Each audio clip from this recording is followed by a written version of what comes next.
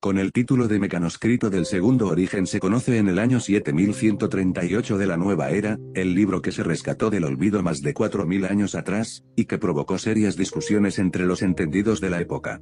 Obra de ciencia ficción, tal como defiende el erudito Eli Raures, o auténticas memorias de uno de los pocos supervivientes de la catástrofe que destruyó la civilización, tal como opina el anticuario Orgen Dalmasas, ¿Es Alba la protagonista, un personaje de novela o bien la madre de la humanidad que ha logrado resurgir casi de la nada? Esta niña de 14 años, virgen y morena, se erige del texto con un poder de sugestión tan extraordinario que cuesta creer que alguien, ni siquiera Manuel de Pedrolo, haya podido inventarla. ¿De dónde la ha sacado? ¿De dónde procede el mecanoscrito?